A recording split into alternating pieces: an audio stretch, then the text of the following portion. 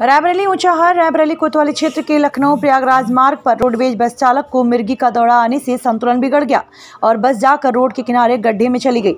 हालाँकि इस घटना में किसी को भी चोट नहीं आई। अगर बस पलट जाती तो बहुत बड़ी दुर्घटना हो सकती थी। इस बस पर लगभग 25 से ज़्यादा यात्री सवार थे। दरअसल रविवार सुबह लगभग आठ बजकर तीस मिनट पर प्रयागराज से रायबरेली डिपो रोडवेज़ बस यात्रियों को लेकर रायबरेली की ओर जा रही थी। तभी कोतवाली क्षेत्र के छीटू सिंह का पूर्वा गाँव के पास बस चालक ने संतुलन खो दिया और बस जाकर सड़क किनारे गड्ढे की तरफ़ चली गई। संतुलन खोते ही बस में सवार यात्रियों को अफरा तफरी का माहौल हो गया। हालाँकि बस पलटी नहीं, इस वजह से किसी को भी चोटें नहीं आई। बताया जाता है कि बस में लगभग 25 से ज़्यादा यात्री सवार थे। बस का संतुलन बिगड़ने के कारण बताया जाता है कि बस चालक को मिर्गी का दौरा आ गया था। इस वजह से बस का संतुलन बिगड़ गया। अशु श्रीवास्तव, जिला क्राइम ब्यूरो, रायबरेली।